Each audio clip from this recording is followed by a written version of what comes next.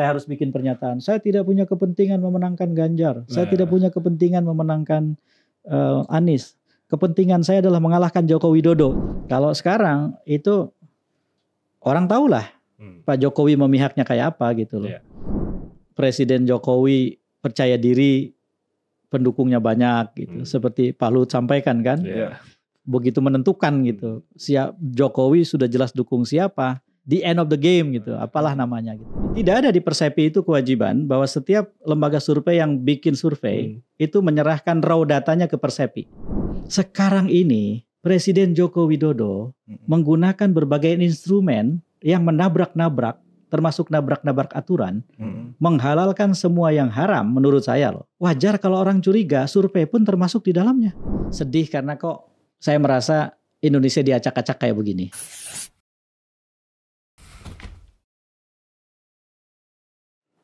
Kang EF Saifullah Fatah, founder dan CEO Polmark Indonesia. Selamat datang Kang di podcast Merdeka. Terima Selamat- kasih. Selamat datang Kang. Terima kasih.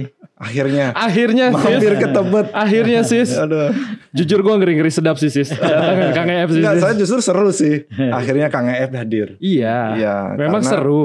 Tapi ngeri-ngeri sedap. Oh enggak dong. Kalau saya malah enggak. Saya senang. Saya karena mau banyak tanya apa eh, tanya Yap. banyak hal Kang. Ya, Eh, sekarang yang lagi rame. Jadi langsung aja saya langsung mau nanya nih Bro. Kasih yang panas-panas. Ah. ya. Eh, soal pemilu satu putaran ini Kang, Ya. isunya kan sedang ramai ya Kang Ya, ya, ya. karena memang yang eh, saya baca eh, isu yang belakangan ini dari lembaga-lembaga survei yang Ya. selama ini kita lihat kredibel, Ya.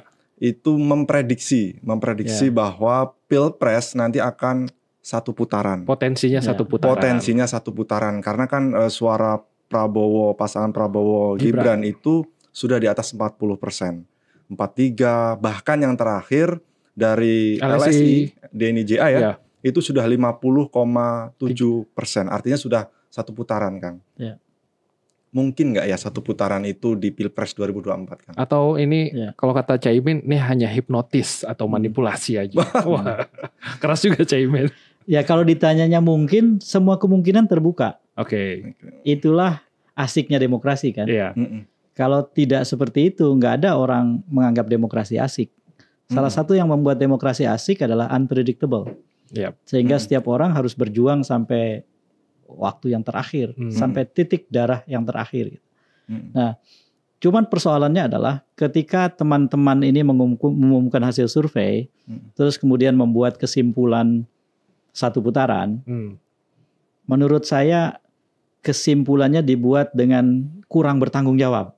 Oke. Oh, kenapa tuh? Karena kalau memang mereka melakukan riset secara serius, Hmm. yang penting itu bukan soal data elektabilitas saja. Hmm. Jadi bukan 01, 02, 03 elektabilitasnya seberapa tinggi, Ya. undecided berapa persen. gitu. Tetapi ada data-data lain yang harus dibedah Hmm. untuk tahu seberapa firm kesimpulan itu bisa dirumuskan.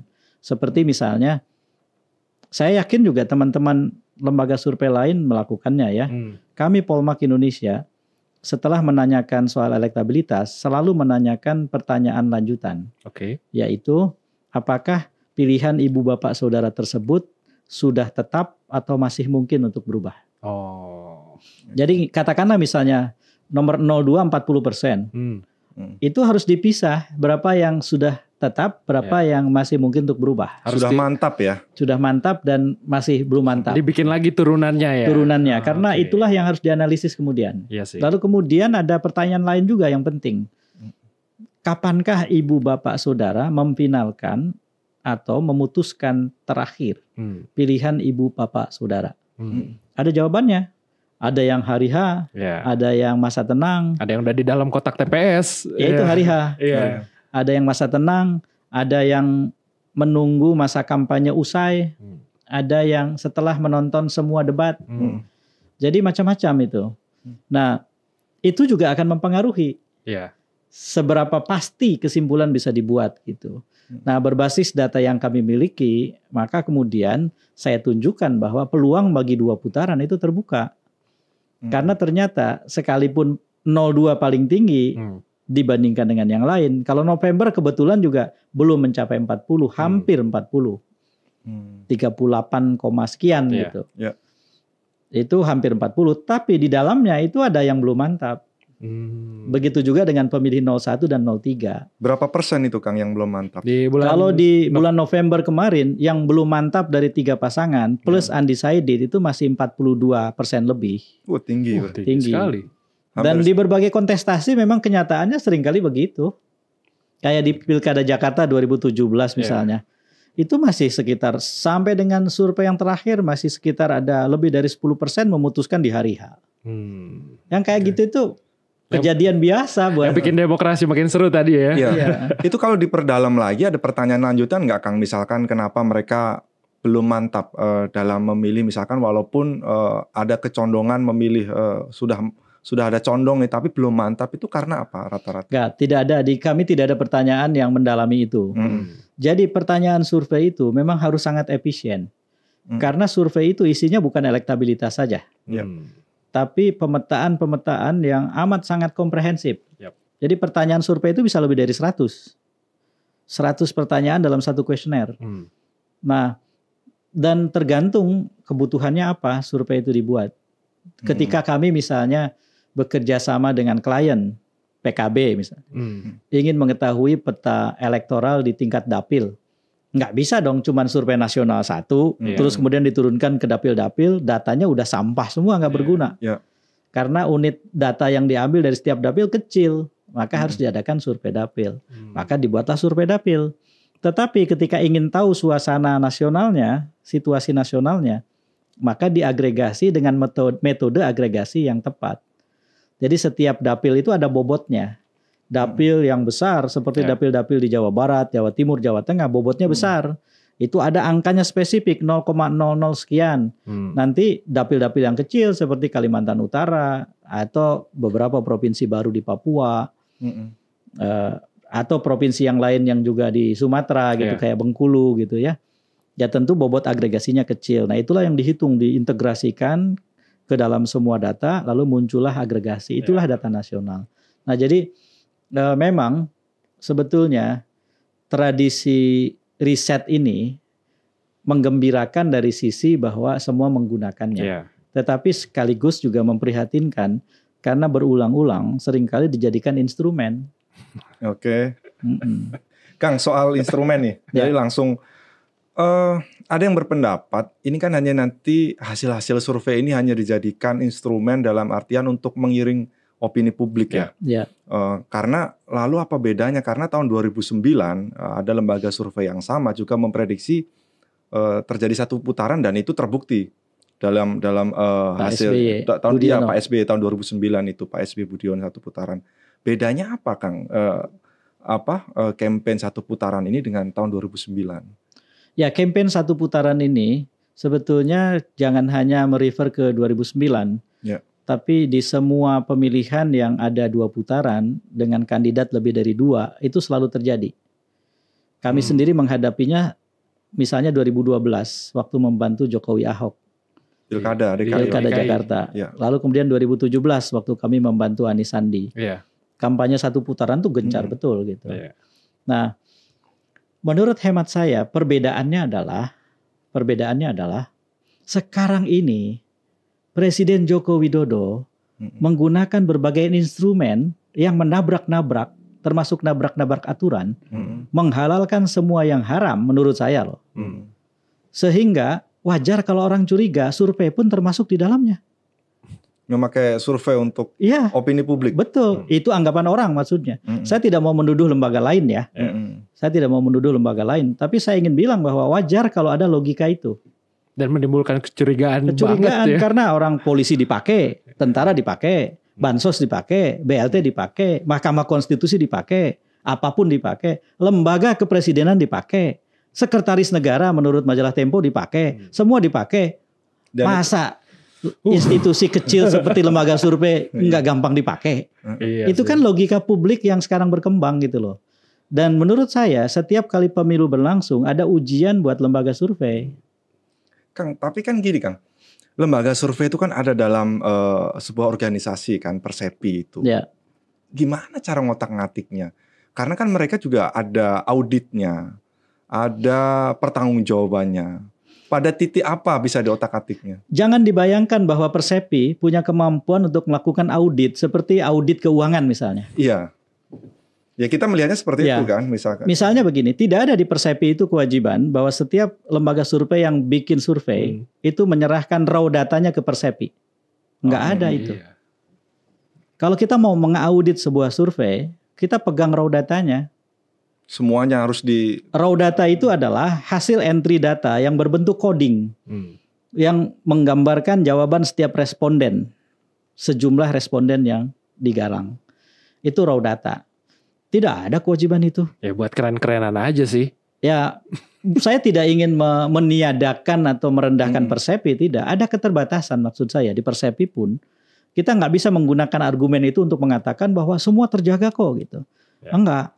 Dan menurut saya begini saja, daripada menuduh lembaga survei dengan tuduhan-tuduhan karena logika yang tadi saya Hmm. gambarkan, lebih baik kita minta mereka bertanggung jawab.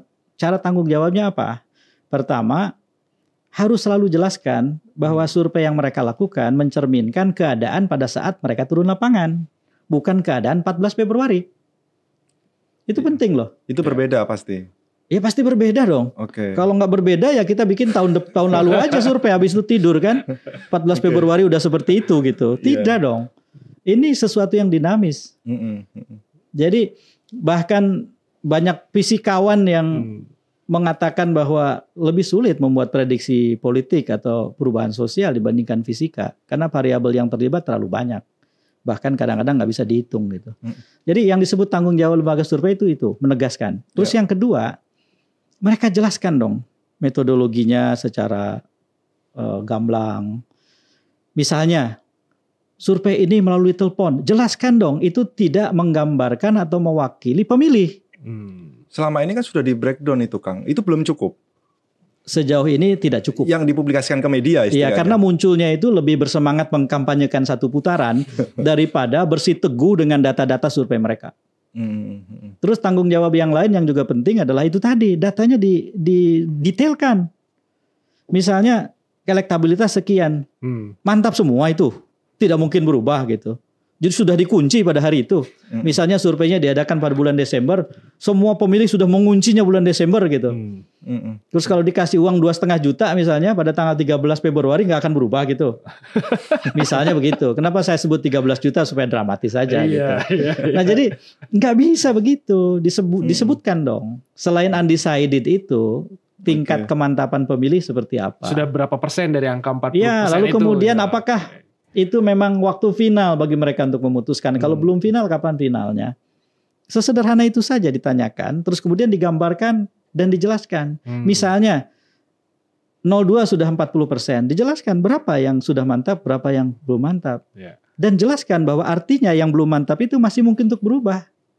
Karena apa berubahnya? Ada banyak faktor. Iya. Di survei ada data mereka Hmm. kok, faktor-faktornya. Tapi memang nggak disampaikan. Nggak disampaikan karena itu bobotnya lebih banyak sebagai kampanye. Hmm. Makanya publik kemudian menilai jadi seperti instrumen. Mm, mm. Saya bilang begini bukan berarti mengatakan bahwa saya pasti benar. Saya data saya data November kok waktu Hmm. waktu kemarin berdebat. Hmm. Sementara pemilunya 14 Februari. Kalau kemudian meleset, bukan meleset terjadi perubahan. Yang undecided sudah memutuskan, yang belum mantap sudah mantap. Pergerakan mereka mantap ke mana di dalam pemilu nggak ada yang bisa meramalkan. Algoritmenya itu terlalu rumit gitu loh. Ya, Memang susah ada. ditebak lah sih ya. Susah ditebak.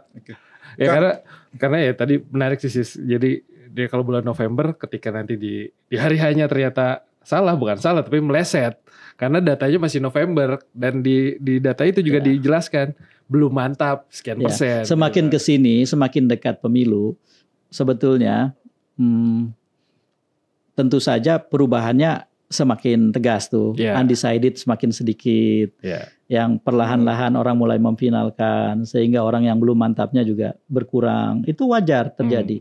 Itu Dan- biasanya sampai H minus berapa Kang? Untuk eh, setidaknya Tingkat yang keyakinannya lah, tingkat kesohihannya. Jadi survei itu bisa dilakukan dengan dua cara. Mm, mm, Dan jawaban waktunya kapan itu tergantung surveinya kapan kan. mm, mm. Ada survei yang dilakukan secara eh, konvensional. Pewawancara turun Mm, mm. Ya. membawa kuesioner. kuesionernya diisi sesuai jawaban responden, terus kemudian diolah. Itu konvensional. Kalau itu yang digunakan untuk turun lapangan dan lain-lain saja, minimal perlu 10 hari. Hmm. Oke. Tidak bisa instan. Iya. Nggak bisa Tapi- satu minggu ya. Nah, ada cara yang kedua yang Telepon. disebut mobile survey, bukan telepon. Mobile survey. Tetap turun lapangan. Kalau telepon udahlah, itu nggak bisa dipakai karena tidak mewakili pemilih. Oke, oke, oke.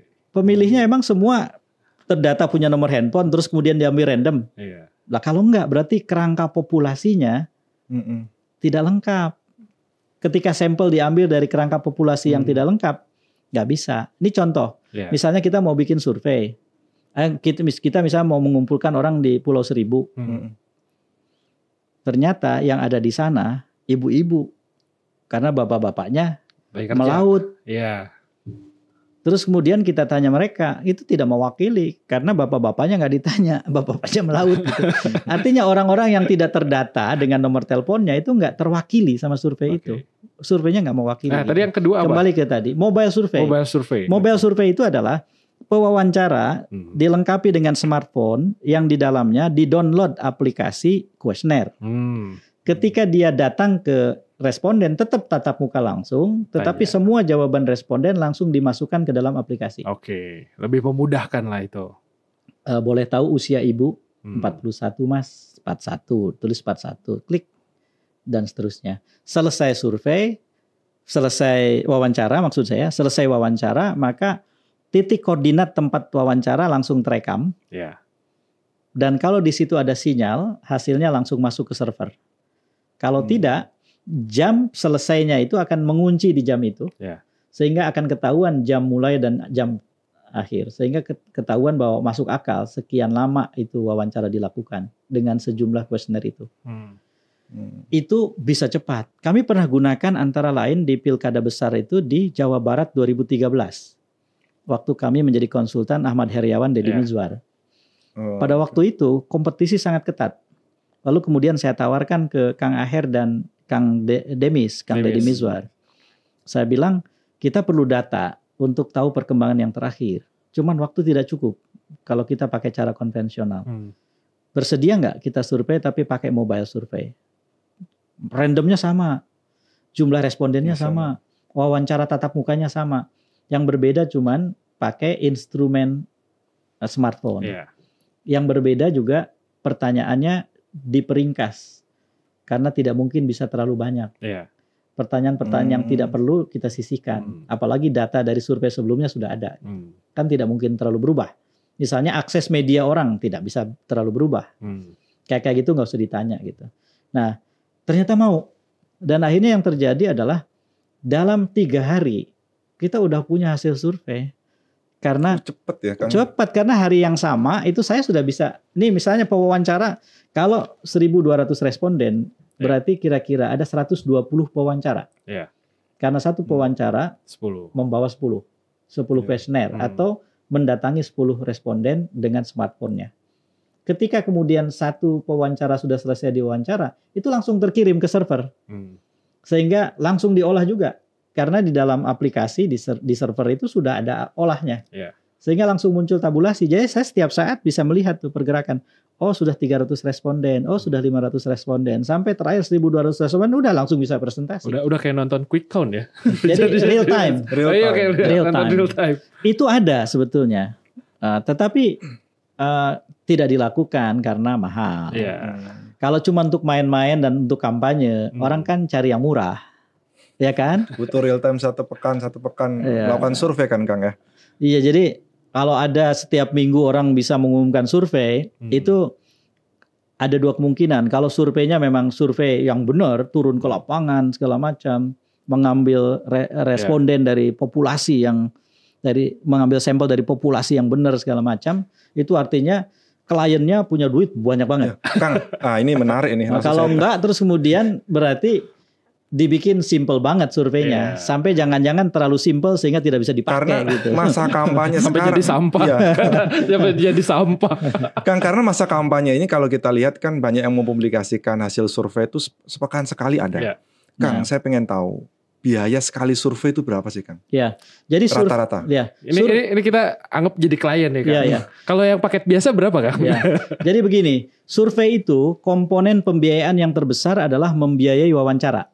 Oke. Karena kalau misalnya saya pewawancara, saya bertanggung jawab atas 10 responden, Ya. maka ada hitungan itu sekian rupiah per responden. Hmm. Lalu kemudian ada biaya transportasi. Hmm. Biaya transportasi itu variabel yang tidak bisa dibikin tetap. Ya. Dia tidak flat. Misalnya kalau Papua diambil, itu bisa pindah kecamatan harus naik pesawat kan? Iya. Hmm. Dan tidak bisa karena oh nggak nggak jangan ke situ deh Eh, kejauhan itu namanya nggak random. Iya. Randomnya nggak boleh diintervensi. Lalu kemudian ada biaya komunikasi. Jadi mereka itu dikasih dana komunikasi. Nah komponen terbesar dari kegiatan survei se- seperti itu. Ya. Nah misalnya orang bikin eh, survei itu misalnya 1.200 responden Hmm. Hmm. tapi provinsi ya 1.200 responden provinsi. Kalau provinsi itu kan eh, lebih terbatas wilayahnya, Ya. Ya. lebih bisa dihitung. Lebih bisa dijangkau Ya lah itu kayak di Jawa 200 Barat. sekian juta kira-kira Iya. biayanya. 200 sekian juta. Mm-mm. Kalau 1.200 responden, Hmm. tetapi dengan catatan itu ya bahwa provinsi. Tapi kalau 1.200 nasional itu lebih besar. Hmm. Karena artinya dia harus membiayai yang di Kalimantan masuk ke hutan kalau dia ini ya. Hmm. Di Papua masuk pindah kecamatan harus sewa pesawat atau pakai pesawat gitu bisa besar sekali. Besar kecilnya berarti tergantung res- besar eh, banyak sedikitnya Responden responden. dan skala surveinya. Skala, ya. oke. 1.200 di Jakarta dengan 1.200 nasional beda banget. Iya. Lebih terjangkau di Jakarta lah. Karena di gitu ya. Jakarta artinya transportasinya terbatas, ya kan? Hmm. Tapi kalau di tempat se- seluruh Indonesia berarti kan kita harus perhitungkan Kalimantan seperti apa, Iya. Sulawesi Barat seperti apa. Kalau Mamuju misal keambil, kan jauh sekali tuh Iya. dan seterusnya. Jadi memang eh, seperti itu dan Ratusan juta berarti Kang kalau misalkan tadi. Iya, iya. Tetapi begini, ini satu hal yang harus eh, saya saya paparkan ya. Hmm. Jika sebuah lembaga survei menyelenggarakan survei secara bertanggung jawab, marginnya itu kecil. Hmm. Karena rata-rata kan 2 koma ya. Apanya? eh, Margin. margin. Bukan, bukan margin of error. Oh, margin keuntungan. Oh, margin kan keuntungan. kita lagi bicara biaya. Iya, iya, iya, oke, oke. Itu kecil. Oh, Oke. Kenapa? Karena yang tidak boleh dikompromikan itu adalah pembiayaan untuk wawancara. wawancara. Oh, Karena oke. itu berurusan langsung dengan kualitas. Iya, iya. Makanya saya bilang tadi kan, jika lembaga survei itu menyelenggarakan survei secara bertanggung jawab, marginnya kecil, Untungnya kecil. untungnya kecil. untungnya kecil Iya, karena oke. apa? Karena yang tidak boleh dikorbankan adalah pembiayaan untuk wawancara. Iya, nggak boleh disunat tuh. Kalau disunat, diperkecil segala macam, ya mereka akan malas-malesan, Iya. kualitasnya terganggu segala macam. Itu nanti dampaknya di hasil itu ya Di Kang, ya? hasil kualitasnya akan terganggu. Jadi Berarti- men- men- men- kalau ada lembaga survei Nah, yang cuman kegiatannya survei, sedikit sekali dia menyelenggarakan survei, nggak akan survive, Hmm. nggak akan survive. Iya, iya, iya. Maka iya. harus cari cara berkegiatan lain Iya. segala macam. harus sering-sering Jadi juru kampanye eh, secara ter- secara tertutup. ya har- harus bergerak lah sis biar tetap sehat gitu. Karena Jadi ya, ya Em ya. Ya, harus jadi sering-sering gini, gerak gitu. gini. Kalau misalnya kita nih menawarkan kerjasama Hmm. survei, nggak mudah loh sekarang. Tingkat kepercayaan siapa pun terhadap lembaga survei itu rendah, diakui saja. Oh iya. Karena terlalu banyaknya lembaga survei Ya. Hmm, yang cawe-cawe ikut kampanye Iya. melampaui etika yang seharusnya dia jaga, bahkan berkhianat pada data yang dia punya Hmm. atau menyembunyikan data-data penting untuk membuat kesimpulan yang diinginkan oleh Iya. kliennya bisa dia bunyikan. dan itu Itu, itu ada Kang di Pilpres eh, sekarang dalam konteks sekarang. eh, saya bukan malaikat yang mencatat ada tidak ya, Hmm. Tetapi menurut saya ini kan sudah tinggal berapa hari lagi ya eh, pemilunya ya Kurang pencoblosannya. dari dua minggu lagi. Ah, Dua udah minggu. berbulan-bulan yang dibicarakan kok. Jadi pertanyaan itu sebetulnya mempertanyakan apa yang sudah disimpulkan oleh penanya sebetulnya. Butuh lead aja. Butuh Kang Ep titik dua gitu kan. Iya, iya. Oh sudah tahu ya Kang. Kang, tapi ngomongin soal responden ya karena Kang Ep tiga kali eh, saya lihat eh, dari eh, Kang Ep di podcastnya itu Mhm. sudah melakukan tiga kali survei bahkan Hmm. Ada yang mengkritisi juga nih dari Kang Ep karena respondennya terlalu banyak. Ya. Satu provinsi bisa 1.200-an ya Kang Ya, ya. ya. Berarti 38 eh, provinsi itu berapa kali responden Ya, itu? 32 kami. 30 Papua nggak kita libatkan. nggak Papua masuk ya. Jadi hampir 30 ribu responden Ya, lebih. ya. Kata Pak Kodari kok dia bilang ngapain sih banyak-banyak responden untuk Ya, memotret sebuah Ya, eh, hasil gitu ya, Kang. ya. Karena klien yang kami punya Hmm. memetakan provinsi. Hmm. Jadi sebetulnya nih survei provinsi. Oke. Ini survei provinsi. Ya kalau memang mau memetakan provinsi, nggak bisa kita pakai survei nasional satu saja. Karena data yang dibutuhkan klien kami adalah pemetaan provinsi. Hmm. Maka dan percaya pada Polmark Indonesia. Hmm. Makanya bekerja sama. Hmm. 32 provinsi. Kenapa Papua tidak dilibatkan? Karena dua sebab. Sebab pertama teknis. Hmm. Biayanya besar Ya. di Papua itu. Yang kedua, lebih penting lagi, bukan hanya teknis tapi politis. Sebagian besar di Papua kan sistem milihnya Iya. pakai noken. Pakai noken. Ya. Kalau kita nanya orang ke orang per orang terus ternyata bukan dia yang jadi penentu kan Iya. buat apa gitu. Nah, Hmm. jadi kalau ada ngapain gitu? Ya karena orang yang bilang begitu pikir saya ini cuman bikin survei nasional. Saya ini bikin survei provinsi. Hmm, hmm, hmm. Kemudian secara metodologi dari sisi statistik ada peluang melakukan agregasi namanya. Iya. Ya. Diagregasilah dia jadi survei nasional Hmm. sebagai data nasional Hmm, minus Papua. Hmm. Itu sudah mewakili 90 sekian persen dari Ya. pemilih gitu. Nah, jadi eh, kalau ada pertanyaan kayak itu ngapain kurang kerjaan? Ke- Enggak, bukan kurang kerjaan, kami mendapatkan pekerjaan yang tidak didapatkan oleh banyak orang karena orang tidak lagi percaya sama banyak lembaga survei. Iya. Karena Jadi- memang ada goal berbeda kan Kang ya. Iya, kayak misalnya kalau pertanyaannya kita lanjutkan, ngapain sih bikin survei di 78 dapil? Hmm. Loh, PKB itu mau memetakan dapil. Untuk Hmm. membuat kami Polmark Indonesia bisa membuatkan strategi pemenangan dapil. Hmm. Masa bikin 1.200 responden Ya survei nasional? Ketika diturunkan ke dapil, itu sampah semua. Itu sama eh, kasusnya seperti kalau kita punya baterai itu Hmm, yang sudah tidak lagi eh, bisa dipakai, udah Hmm. soak baterainya, hmm, kan ada saran tuh, itu masih bisa dipakai. hmm. Jemur tiga hari, bersihkan, pakai cuka, tambahkan sedikit Coca-Cola, Hmm. saya menyebut merek ya, atau Pepsi Iya. supaya sama lah. Iya, sama. Enggak satu merek ya. Lalu kemudian tiriskan, Hmm. bersihkan. Setelah itu diapain? Dibuang. Hmm. Nggak jadi dipakai. Kita Iya, jadi akhirnya kita melakukan banyak sekali atraksi Iya. gitu, ujungnya sampah gitu. Iya. Nah, kalau kita ingin tahu peta dapil, ya surveinya dapil. Hmm. Kebetulan. Tidak mudah mendapatkan kepercayaan untuk survei dapil. Karena, Karena- artinya si klien itu harus mengeluarkan dana Iya. Lebih besar. 8 iya 800 responden per dapil dikalikan 78 gitu. Besar lah Kang itu ratusan juta Kang. Tapi untungnya dikit tuh. Ratusan juta dolar kan? Untungnya dikit. Ya, Karena bertanggung jawab untungnya dikit.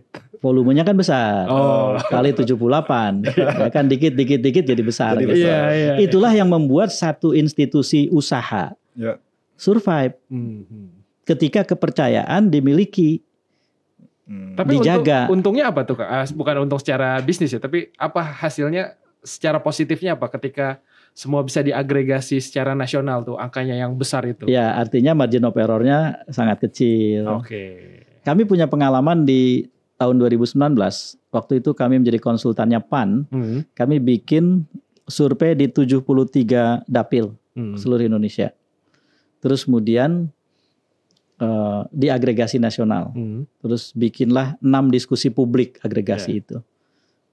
Ya sekalipun jarak antara survei dengan pencoblosan itu lumayan jauh, Hmm.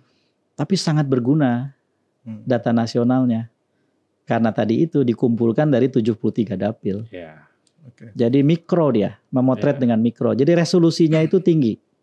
Kalau dia gambar resolusinya tinggi. Kalau digedein tuh nggak ngeblur gitu. Hmm. Karena udah ngezoom sampai zoom tingkat kecil Ma- kelihatan. Kecil kelihatan. Masih gitu. kelihatan lah ya. Masih kelihatan. Kalau satu survei terus kemudian melihat ini itu hidungnya udah nggak kelihatan, giginya udah nggak kelihatan gitu. Jadi sementara kita ingin tahu giginya ada yang itu itu ngirim fotonya pakai WhatsApp jadi makin kecil resolusinya. Ngirimnya harus Jadi pakai kalau ada orang yang mempertanyakan kok buang-buang eh, ngapain gitu. Kok itu ya, cap- capek-capekin aja sih. ya gitu. karena ini adalah survei provinsi Ah, Oke. dan di beberapa kesempatan juga kami lakukan itu. Kang, Jadi- eh, saya masih terkait dengan survei Kang. Ya. Eh, pengalaman Kang EF dalam melakukan survei di eh, pemilu ya, misalkan kalau kita lihat hasil-hasil Ya. eh, survei sekarang gitu, eh, wajar nggak misalkan dalam eh, paslon tertentu misalkan stabil, sedangkan paslon 01, 0, 01 dan 03 itu naik Din- turun, dinamis gitu ya. dinamis lah ya Ya. kan. Tapi Sedangkan surveinya 02 lain-lain kan, lembaga surveinya Iya, lain-lain kan. Lembaga surveinya lain-lain.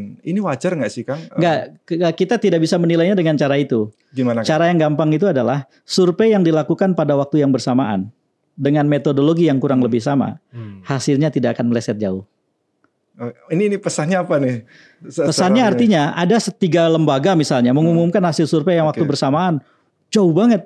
Padahal menurut mereka dilakukan turun lapangannya tanggal sekian sampai tanggal sekian. Iya. Loh kok mirip-mirip tiga-tiganya? Mm-mm. Oke. Jumlah respondennya 1.200 Sama. kok kurang lebih sama. Iya. Hasilnya beda banget. Itu di antara yang tiga itu kalau ada yang benar paling satu. Satu yang dua tiga. ngaco.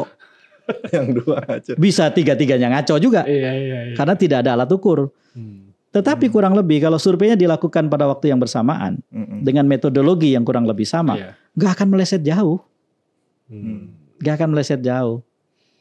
Nah kalau ternyata respondennya beda, maka ada yang disebut margin of error. Margin of error adalah ambang batas kekeliruan. Iya. Jadi kalau misalnya disebutkan bahwa margin of errornya 1,9 persen, Hmm. atau katakanlah misalnya margin of errornya 2 persen lah. Iya. Ini Iya. kalau 2.600 responden nih. 2.600 responden survei nasional margin of error plus minus 1,9 gitu ya. Mm-mm. Katakanlah 2 persen.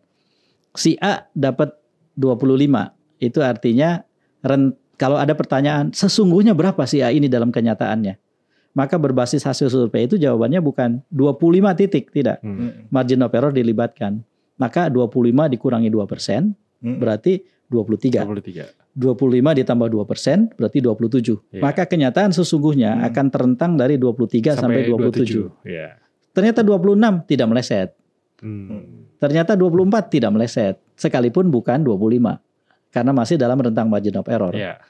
Survei yang tidak berkualitas adalah katanya rentang margin of errornya misalnya 2,9 persen. Udah, udah 3 Misalnya 3 persen lah katakan. Ternyata melesetnya jauh-jauhan banget dengan survei yang sama di waktu yang sama, melebihi 3 persen itu. Selesai 25 ini ternyata hasil 30 gitu. yang kan. satu 30 misalnya atau yang satu 15, yang satu 27 Iya. untuk paslon yang sama Iya, gitu. Wah, itu udah Ngaco Nah, jadi- tuh. Sampah gak tuh?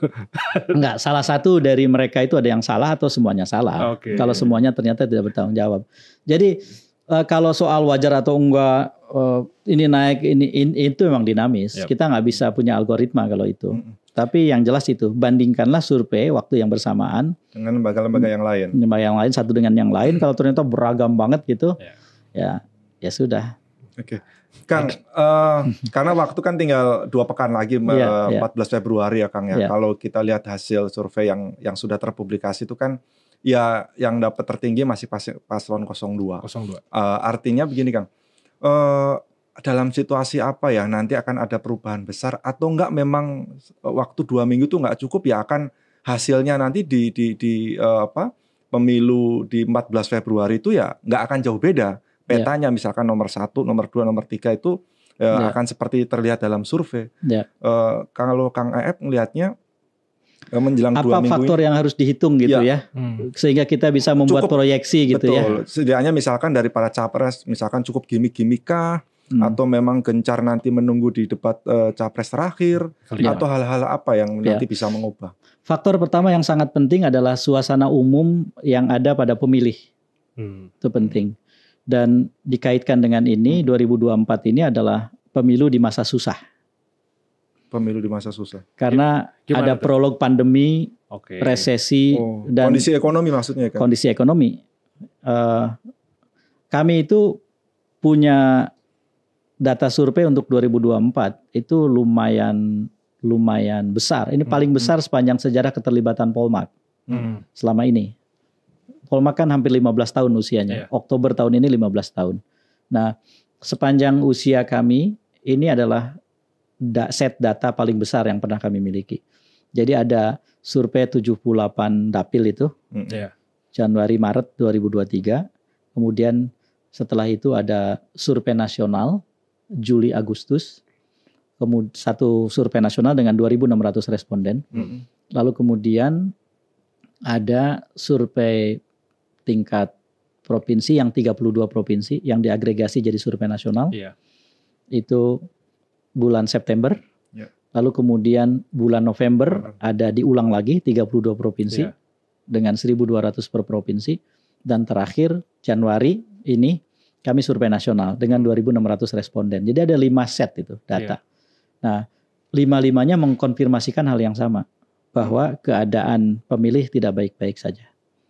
Di atas 60% mengaku bahwa pendapatan atau penghasilan mereka turun Mm. dalam beberapa waktu terakhir. Kemudian sekitar 50-an persen mengaku bahwa ekonomi mereka dan keluarganya memburuk.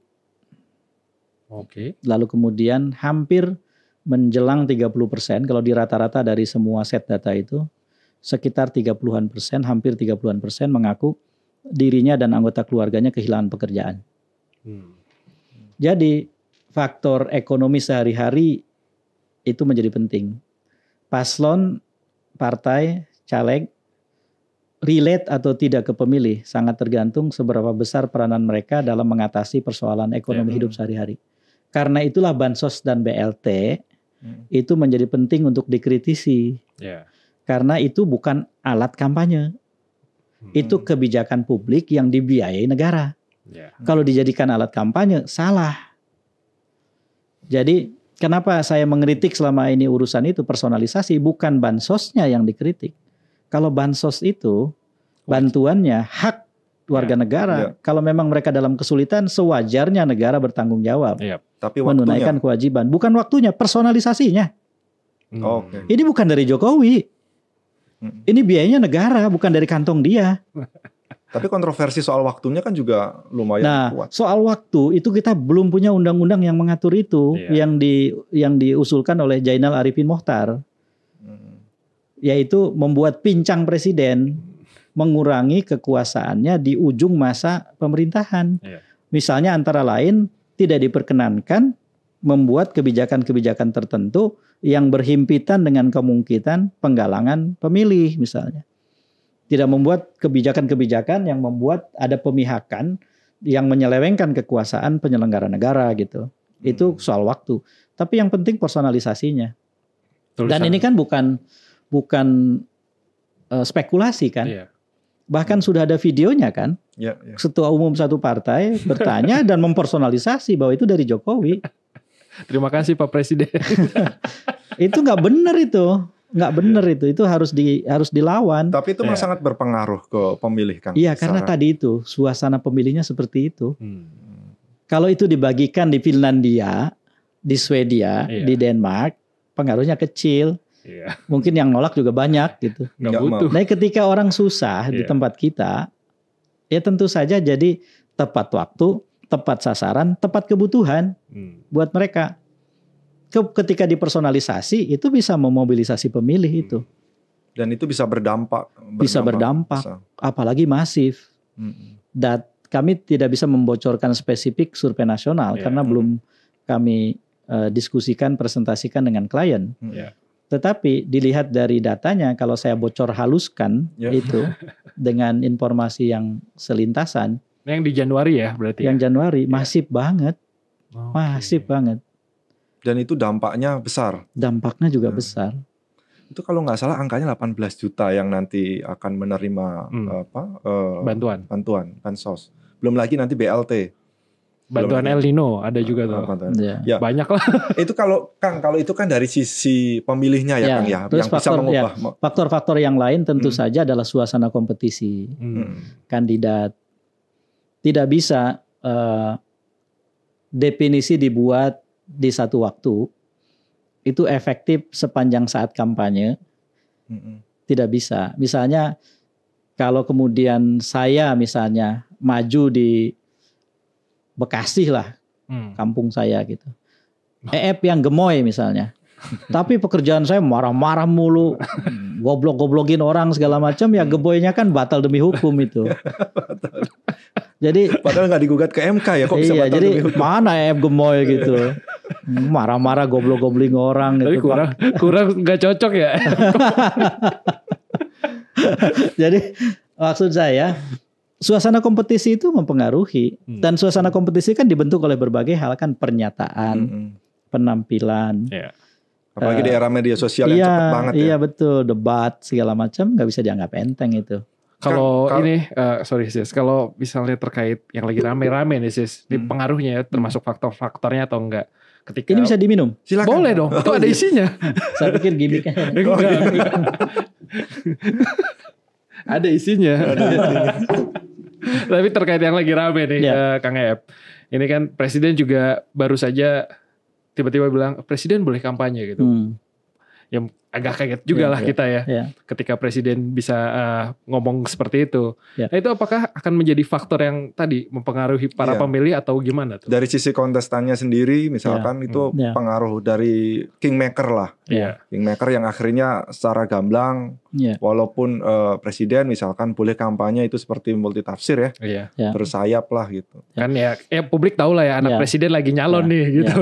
Satu peristiwa, satu pernyataan, eh, satu event atau apa pun Hmm. namanya, ketika terjadi berjalan di tengah kompetisi, maka sampai ke pemilihnya itu mele- melewati satu proses. Iya. Hmm. Karena setiap pihak yang berkepentingan berbeda mengkapitalisasi dengan cara yang berbeda kan. Mm. Nah persoalannya adalah saat ini rasanya tidak pernah ada oposisi terhadap Presiden Jokowi sebesar sekarang. Oposisi. Oke. Oposisi itu artinya pihak-pihak yang melawan, yang berseberangan. ya. berseberangan, Ya. yang mengatakan tidak terhadap apa yang diperbuat dan dikatakan Jokowi. Tidak pernah sebesar sekarang. Dulu tokoh-tokoh yang sekarang ini begitu keras bersuara, Hmm. itu sama Jokowi. Hmm. Bahkan ada pejabat-pejabat publik Iya. yang sama Jokowi, yang belakangan kemudian harus keluar karena merasa Jokowi sudah melampaui batas gitu. Nah jadi menurut saya nilai pernyataannya itu bisa menjadi buruk atau baik tergantung siapa yang mengamplifikasi. Amplifiernya itu seperti apa. Nah amplifier yang melawan itu sekarang sangat besar. Dan media sosial itu kan milik semua orang Hmm. masalahnya. Tidak bisa dikendalikan negara atau departemen penerangan kalau dulu zaman Orde Baru gitu. Pak Harmoko. Pak Harmoko tidak bisa. Sekarang semua orang jadi Pak Harmoko. Iya. Semua orang mengendalikan berita. Menurut Bapak Presiden. Iya. nah, ketika semua orang jadi jurnalis, ketika semua orang jadi redaktur, ketika semua orang jadi penyampai pesan, Iya. maka lain ceritanya gitu. Jadi menurut saya sih terlepas bahwa Presiden Jokowi percaya diri pendukungnya banyak gitu. Hmm. Seperti Pak Luhut sampaikan kan, Iya. eh, begitu menentukan gitu. Siap Jokowi sudah jelas dukung siapa. eh, itu apa game over gitu kan. Iya. The end of the game gitu, apalah namanya gitu. Nah, jadi menurut saya sih dalam konteks ini eh, cerita tidak sesederhana itu. Masih rumit ya. rumit karena yang kita perhitungkan adalah sebetulnya ada 204 juta orang yang ada di DPT. Katakanlah misalnya 80% itu kan 180 sekian juta kan Iya. pemilihnya. Itulah yang nanti akan menentukan. Kang, eh, tambahan lagi itu soal beberapa faktor tadi adalah faktor yang kedua adalah yang 40% yang masih bimbang itu ya Kang ya. Ya, November Eh, ya, iya, data yang November. pemilih itu tadi. Ya. Prediksi Kang Eep itu yang akan menikmati 40% itu nanti siapa Kang? Eh, jadi ketika dilihat dari cross tabulasi berbagai faktor, Mm. ketiga-tiganya punya peluang untuk memanfaatkan itu. Jadi tidak mengumpul misalnya pada 02 gitu, Hmm. mengumpul pada 01 atau 03, 03. Tiga-tiganya punya kesempatan. Mm-mm. Eh, logikanya begini, mereka yang belum mapan mantap pilihannya di 02, Mm. artinya mereka masih menimbang 01, 03 atau tidak memilih kan. Masih dipantau lah yang Iya. lain. Begitu juga yang tidak mantap di 01 dan tidak mantap di 03. Iya. Peluangnya adalah berpindah ke salah satu dari dua kompetitornya atau tidak memilih. Mm. Nah, pergerakan itu rumit algoritmenya. Sangat tergantung bany- pada banyak faktor. Salah Hmm. satunya yang terpenting adalah apa yang terbentang di hadapan mereka dan mereka persepsikan secara individual Hmm. sampai dengan saat terakhir nanti pencoblosan 14 Februari. Nah, jadi ya inilah indahnya demokrasi sebetulnya. Dan kalau saja ini bukan demokrasi, Pak Jokowi sudah tidur tenang ini. Menurut saya ini masa paling gelisah buat Pak Jokowi sekarang. Oh, Sangat. pemilu, pemilu sekarang. Pemilu sekarang, Hmm. oh sangat-sangat eh, menggelisahkan ini. Buat- Kalau kalah, Iya. pertaruhannya besar. Karena sudah melakukan sejauh ini gitu loh. Hmm. Rasa psikologisnya kan eh, beda banget sama yang 2019. Karena waktu itu konsultasi in- sebagai incumbent kan juga pasti secara psikologis juga ber- berat kan, Kang. Maksudnya Hmm. bedanya apa gitu? Pertama, Jokowi tidak melakukan nepotisme 2019. Sekarang jelas melakukan itu. Yang kedua, Jokowi cawe-cawe sebagai kandidat, bukan cawe-cawe namanya, berkompetisi. Kalau Hmm. kalau Sekarang dia kepala negara yang cawe-cawe untuk kandidat. Kebetulan kandidatnya hasil nepotisme, ada anaknya. Ketika kemudian aparatur diduga juga membantu Iya. partai, Hmm. eh partainya dipimpin anaknya juga. kalau kata netizen sekarang presiden jadi jubir. Jadi kan ada itu kan, ada anekdot kan sekarang Iya. kan. Ganjar perlu suara, maka Ganjar turun. Iya. Hmm. Anies perlu suara, maka Anies turun. Oh iya, Prabowo perlu suara, Jokowi turun. rame di medsos. Ada lagi sih sebenarnya ada desak Anies tabrak Prof. Iya. Kalau itu desak MK tabrak gitu lah. Itu netizen ya. Iya, iya, itu iya. netizen. Panjang ini. Tapi gini Desak kan, MK tabrak konstitusi. tapi gini kan. eh, ini mulai bahaya ini podcast ini. tapi Harus segera ditutup ini. Waduh jangan Tapi- dong. tapi ditutup soal podcastnya. Bukan. tapi soal eh, biasanya pemilih yang masih bimbang itu lebih suka program atau gimmick sih Kang Nah. biasanya di di di, di, eh, detik-detik terakhir itu. Selain misalkan soal tadi ada eh, eh, pemilih yang soal bansos BLT se- Iya. eh, di samping itu misalkan. Jangan menganggap remeh atau underestimate sama pemilih. Hmm. Hmm. Sebetulnya bagian yang sangat penting dari proses memilih adalah seberapa relate pilihan yang Ya. tersedia dengan hidupnya. Hmm. Eh, tetapi memang ada yang kemudian mensimplifikasinya dengan mengatakan menerima uang memilih gitu. Nah itu juga harus dibantah Hmm, itu. ya. Saya eh, termasuk orang yang senang membantah soal politik uang. Hmm. Politik uang tuh marak tapi tidak efektif sebetulnya. Iya. Eh, nah jadi kalau ditanya gimmick atau apa, gimmick itu tidak akan pernah berguna Hmm. ketika tidak mendukung sesuatu yang relate sama hidupnya. Hmm. Tetap begitu. Masa sih?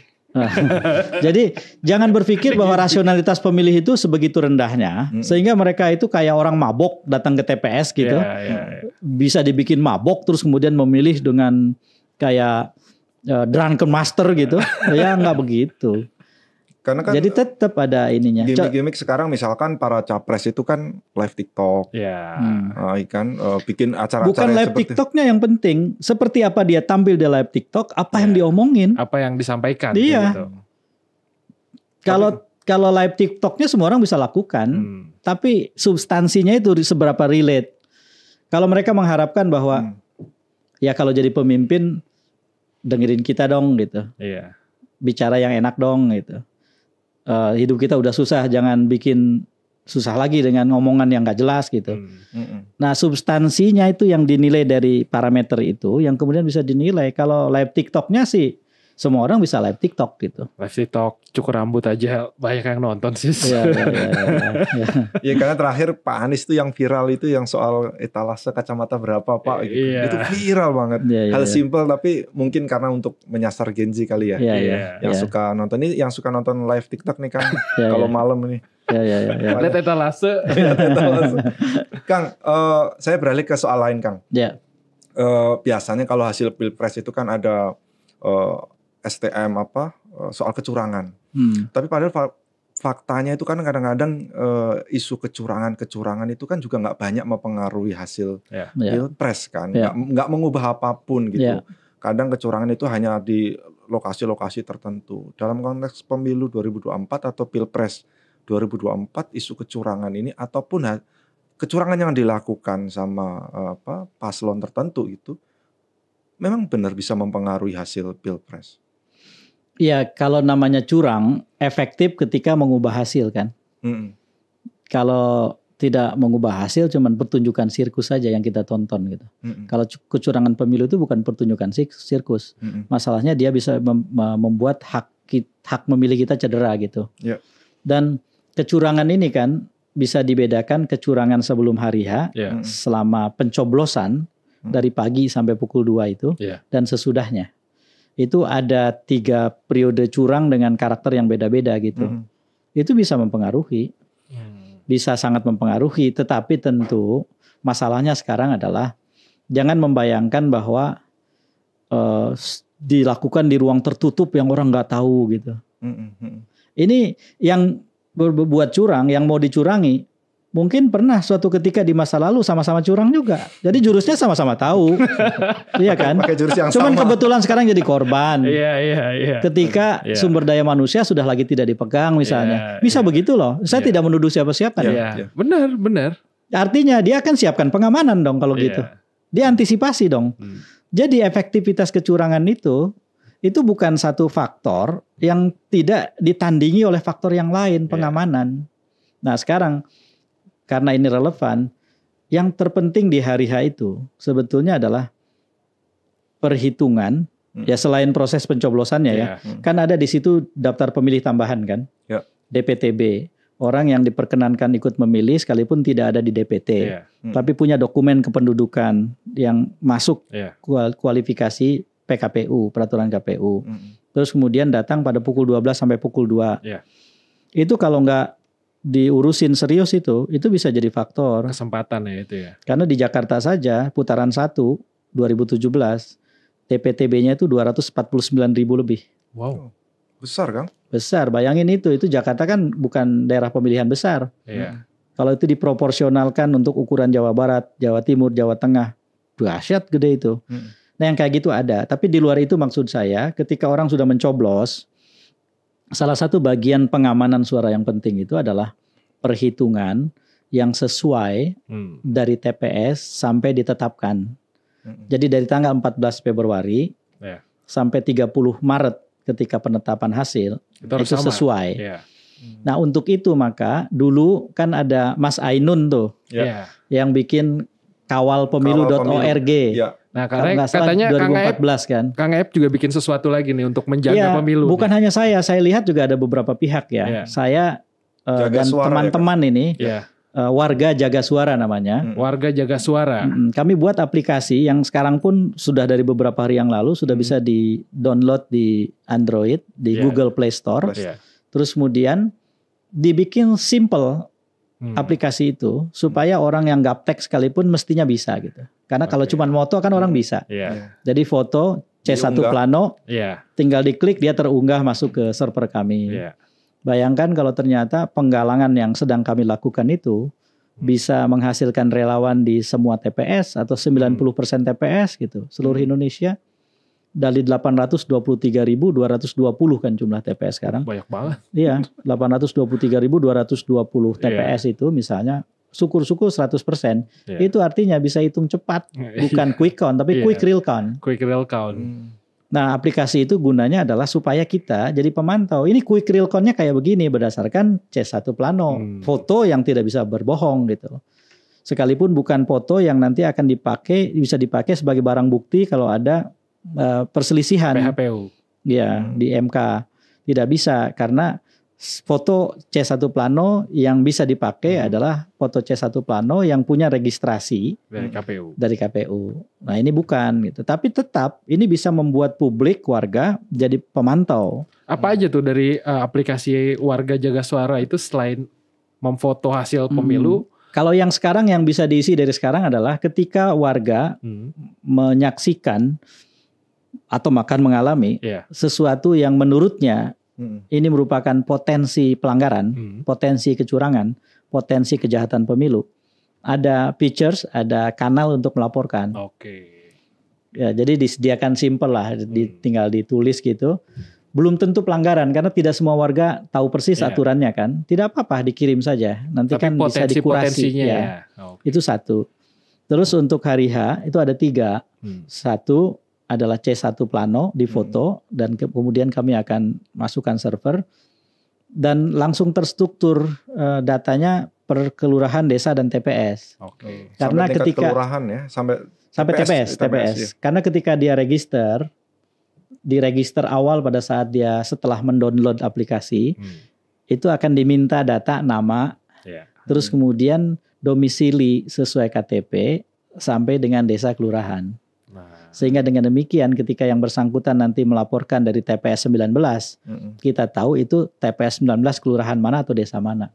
Hmm. Makanya datanya langsung terkanal terkanalisasi itu. Mm. Cepat itu Ini pengalaman berarti saya. bagian dari mencegah kecurangan juga ya kan? Iya, iya betul. Terus kemudian yang itu yang kedua, yang ketiga itu adalah ini tidak sifatnya sewajib foto C1 plano yang Hmm. ini. Mm. Bagi mereka yang tidak terlalu gaptek lah, Hmm. itu kami sediakan formulir untuk mengisi sebaran suara TPS itu. Dan ini hanya pilpres saja ya, Iya. karena Oh. terlalu rumit kalau it- yang lain juga kita laporkan ya. Ya banyak banget ada lima lembar surat suara kan. nanti. Iya, iya. Oke. Jadi ini pilpres saja. Nah, Nah, jadi, jadi, nanti yang ketiga itu adalah 01 dapat berapa, Hmm. 02 dapat berapa, 03 dapat berapa, suara sah berapa, suara tidak sah berapa. Jadi kan gabungan semuanya jadi Ya. DPT. Nah, itu ada formulirnya itu yang ketiga. Yang keempat itu eh, sebagai bagian dari upaya melibatkan warga dan mereka merasa jadi Iya dong. bagiannya, iya dong. itu foto ini, foto jari yang sudah mencoblos, Hmm. buat yang mencoblos Hmm. jari yang bertinta difoto dikirim ke Hmm. aplikasi nanti eh, jadi kita punya data relawan warga jaga suara Iya. nanti akan diapakan untuk kebutuhan pada saat itu nanti nanti kita kita bisa atur terus kemudian bagi mereka yang ingin jadi relawan tapi nggak memilih cukup salam pancasila aja lima lima jari Lima jari. lima jari difoto Karena kalau sampai tiga bahaya. ya. makanya Oh, iya. kalau empat empat aja sekarang bahaya Iya. nah, sekarang sudah ada gerakan 04 soalnya Iya. Oke, Kang eh, sebagai closing nih Kang, eh, saya mau nanya perasaan ya terkait dengan eh, statement Kang Aep itu kan di channel-channel lain Ya. tuh udah bilang demokrasi itu tidak memerlukan hero. Iya. Ya. Nah itu terkait dengan eh, konteks melihat pemilu dan demokrasi sekarang. Ini biasanya pertanyaan standar kalau di wartawan itu. Iya. ya. Perasaan Kang Eep melihat pemilu sekarang karena kan pengalaman Iya, Kang iya. Eep di Iya. politik Iya. banyak lah analisanya. Melihat pemilu 2024 Iya. sekarang Kang Eep. sedih marah Hmm. Eh, barangkali itu dua perasaan yang paling dominan. Iya. Sedih karena kok saya merasa Indonesia diacak-acak kayak begini. Perasaan saya kan yang ditanyakan. Iya. Iya. Orang lain nggak sepakat, ya jangan ngajak saya taruhan. Iya. Eh, Mentang-mentang perasaannya beda ngajak taruhan lagi nanti. Alphard lagi. Alphard. Terus yang kedua marah karena menurut saya eh, kalau tidak bereaksi dalam bentuk kemarahan, Hmm. Sementara kita tahu ini kekeliruan yang sangat nyata, Iya. nggak masuk akal gitu. Tapi kalau di perasaan seperti itu, dalam bentuk aktualisasinya tidak boleh marah, tidak boleh terkurung dalam kesedihan. Hmm. Itu prinsip yang sangat penting dalam perjuangan demokrasi.